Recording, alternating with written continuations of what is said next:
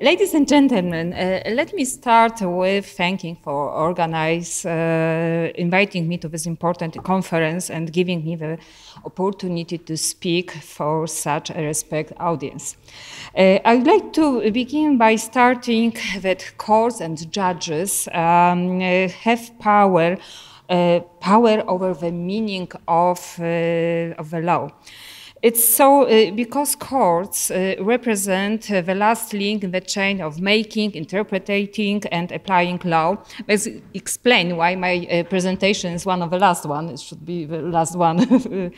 and um, uh, we change a little. Um, our program. It's also the reason why it is so important to determine how judges can and should exercise their power.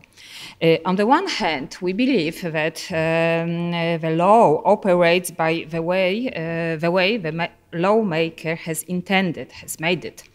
Uh, on the other, the lawmaker decision is a formalized, conventional text uh, whose real face is revealed once it starts to be applied and interpreted. Um, I was asked to present uh, my arguments in the light of a legal positivism. Um, this is an ambitious, uh, but at the same time, a very topical task. Uh, the question uh, concerns the role played by judges in the process of applying the law, as well as, as, well as their role in the public life this power which I mentioned before. The courts has always sought, and rightly so, to be freed of political influence. Legal positivism was an expression, actually a guarantee, of the politics, uh, politicism of judges. Today's debate about the admissibility and scope of a judicial activism raises concerns about the broadly understood politic politicization of judges. The question is also about whether formalized law should be the sole basis on which judges make their determinations. Whether, and if so, uh, to what extent can moral issues be the subject of judicial deliberation, uh, and whether such issues shouldn't belong to the exclusive competence of the lawmaker. Uh, the title of my presentation also presumes the existence of a judicial dilemmas. Uh, should judges have dilemmas? Should they be uh, regarded uh, as unthinking machi machines whose task is to apply legislation? Uh, I can answer these questions right away. Judges should be torn by dilemmas. A judge who has no doubts is a very dangerous judge the notions of uh, dilemma that lawyers use to express their moral experience uh, as it relates to exercise of their provision is much broader than the one used in ethics.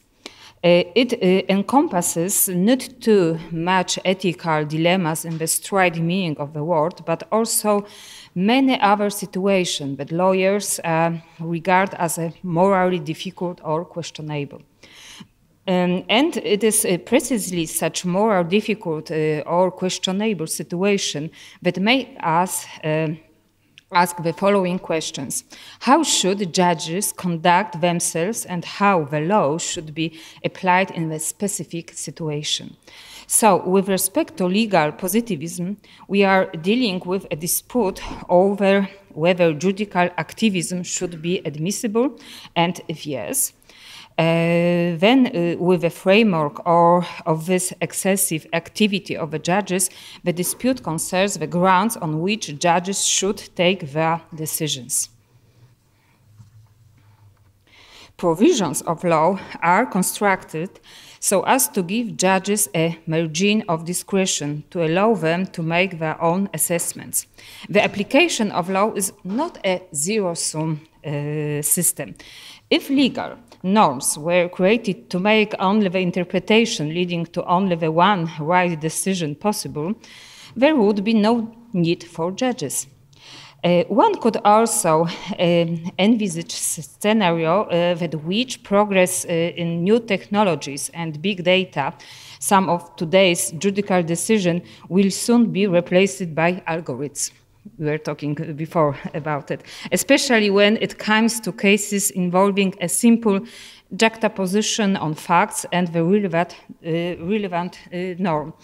Uh, answering the questions based on the uh, book Homo Deus, uh, which I read uh, before, um, in my opinion, such situations, situation involving cases um, uh, in which we can use the algorithm would be quite rare. I can imagine, for example, um, um, registration, uh, registration cases. Um, uh, cases, not to mention the hardest ones, are usually comp complex and their assessment is open to different interpretation. Uh, which are uh, deri deri derivative um, um, uh, of both of state of knowledge of judge and his independence and as well as um, conscience of judge. Um, a positivism approach to law works during times of stability when there are uh, fundamental differences between codified law, uh, there is no uh, fundamental differences between codified law and the values accepted by the society. As the previous speakers have pointedly mm, demonstrated, it is not case of today. This uh, reason alone uh, argues in favor of open governance of the cards as oppose, uh, to, uh, opposite to uh, positive isolationism of judges. Even though there are no doubts that the judge should not replace a lawmaker, since his role is not to apply the law, not to make it, to apply, not to make it. Almost always the judges has to adjust the law to the needs of a specific case so that he can deliver, deliver a fair ruling. His judicial conscience can help him to do that. In Poland, every incumbent judge takes an oath from the President of the Republic of Poland. This oath uh, says that the judge will rule consistently with the laws uh, in force and his own conscience. So, conscience is um, affirmed by legal norm. Uh, we can distinguish a situation uh, when the judge conscience can operate. Uh, the first analogy that comes to mind the um, uh, medicine uh, area, I mean uh, uh, physician's uh, conscience clause. Yet it's hard to accept the application of this clause directly if, by operation of law, judges could invoke the conscience clause, this would practically give them the right to refuse to examine a case uh, on the grounds of their uh, world view. I believe that this, is, uh, this should not be so. The judge's task and service is to rule on every case that he or she examines. Attorney at law can refuse to take a case uh, or can say that something cannot be done. Judge can do that. Second, judicial resistance of legal change.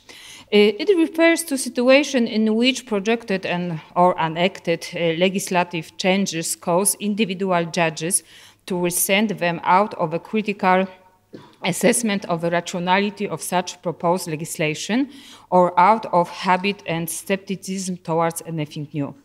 It often takes uh, one of a form of a sort of internal voice of opposition.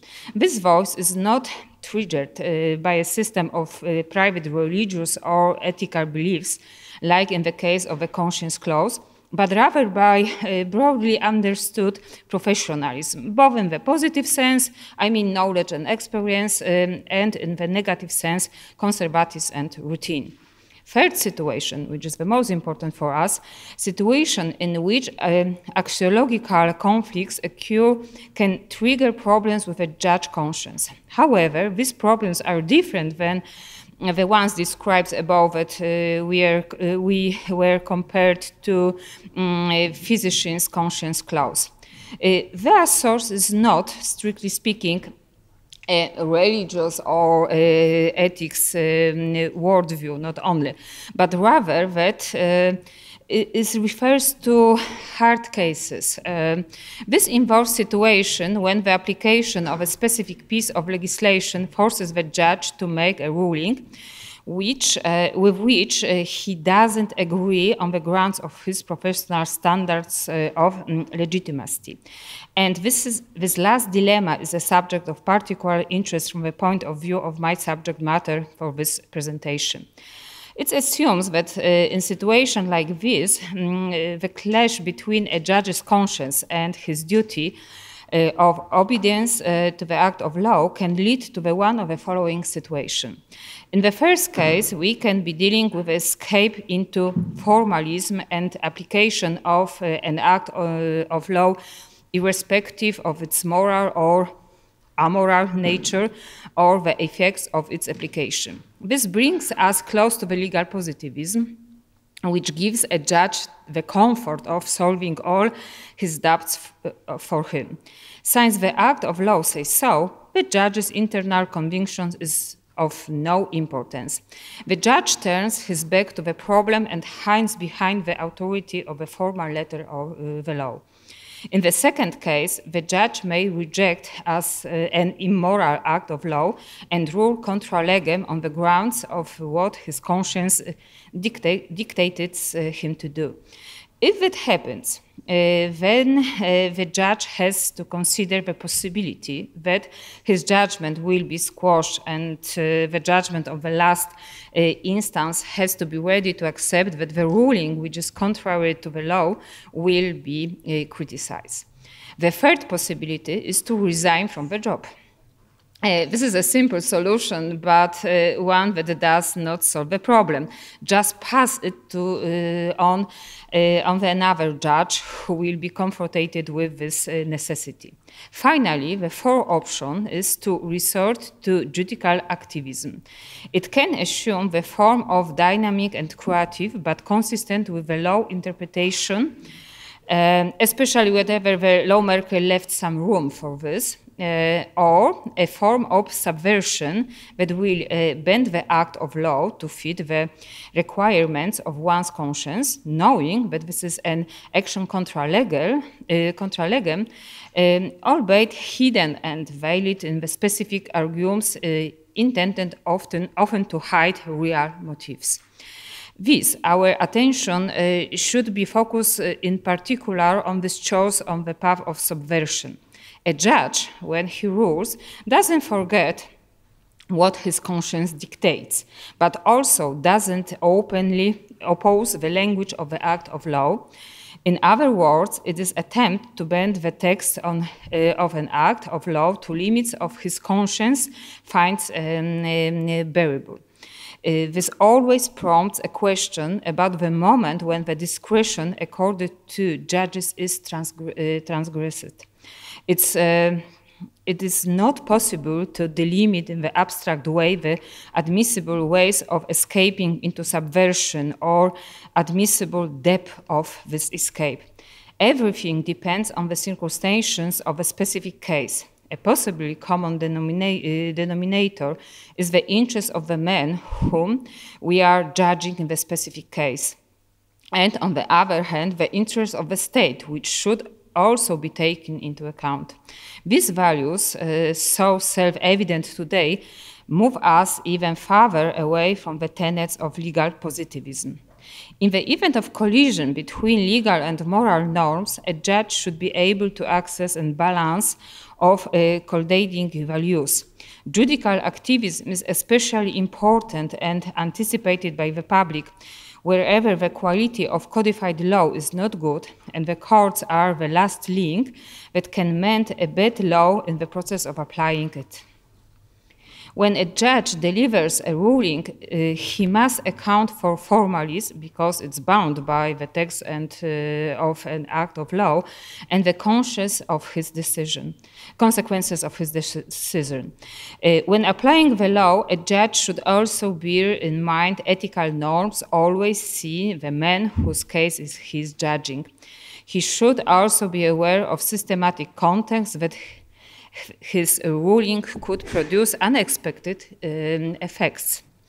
Uh, our conference discusses the quality and shape of the people-to-people relations um, that are described, regulated, and protected by law.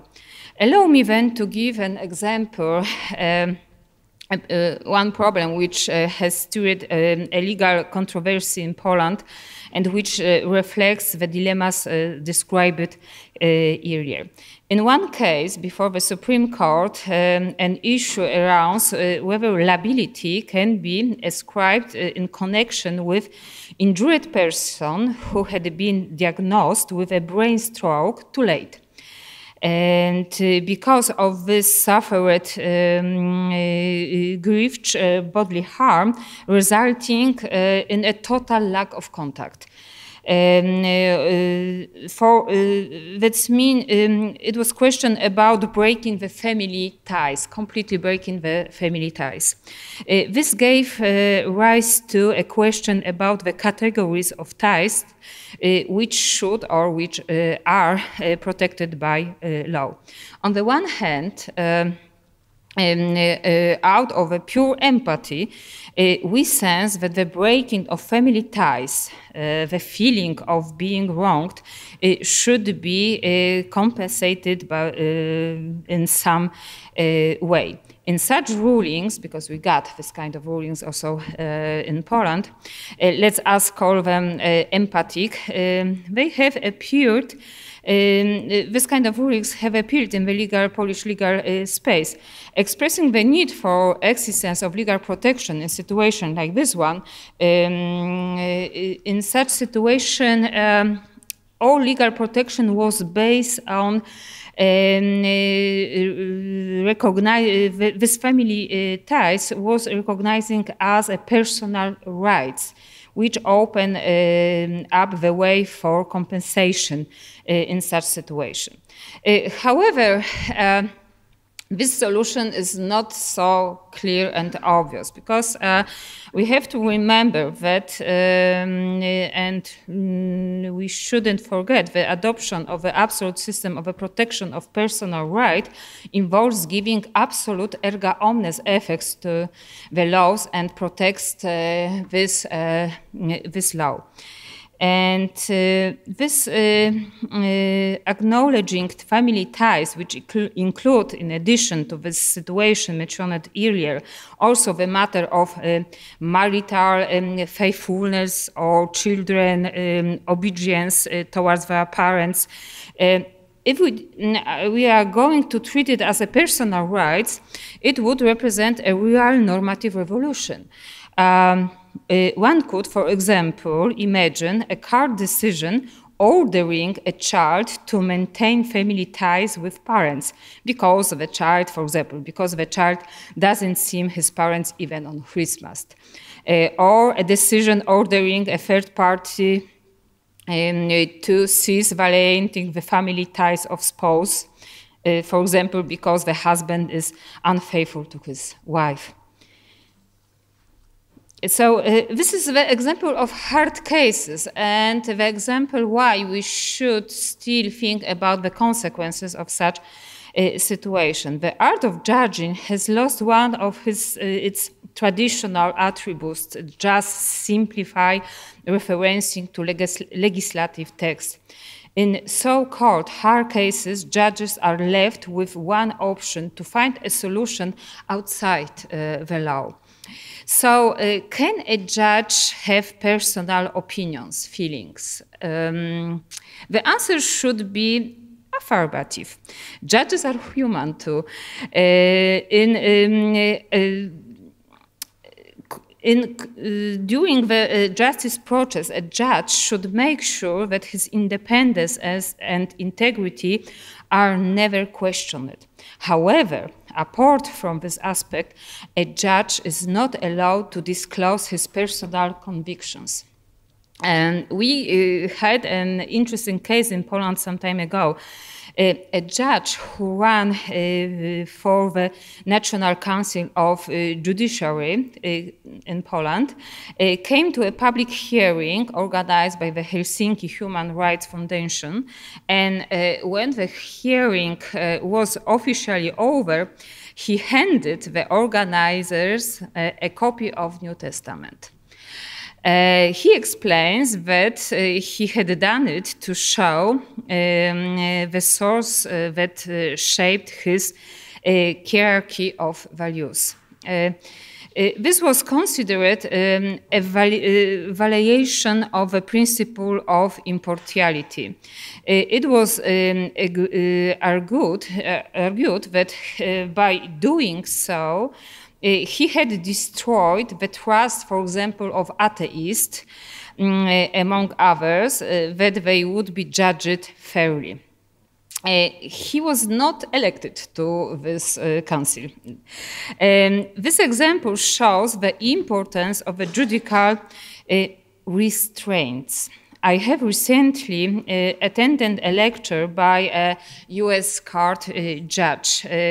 Uh, as an example, she said that a judge is not allowed, is not even allowed to declare himself to be against racism we are talking about racism before, and it should uh, or would seems to be very expected uh, norm uh, for a judge. But why not? Um, she said that because uh, if such a judge were to try a case involving a racist, uh, the defendant could question his impartiality. It, so judicial activism is now a fact, in my opinion.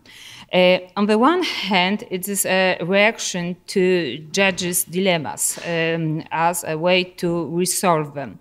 On the other, However, uh, in this new open space for activity, the judiciary traditional attribute independence could be seen as providing grounds for making courts uh, unpredictable.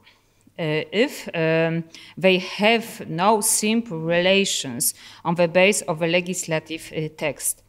Uh, we have to remember that all uh, extremes are dangerous. On the one hand, traditional legal positivism carried the risk of oversimplification and moral ignorance. On the other, too much of judicial activism, especially when it becomes subversion, can lead to excessive moral um, uh, arbitrars and uh, subjectiveness. One should always be mindful of the risk of the uh, one's own subjective approach adopted as a prim um, uh, primacy over the object objective sense of law. In both cases, the ultimate victim is our sense of justice. Thank you very much.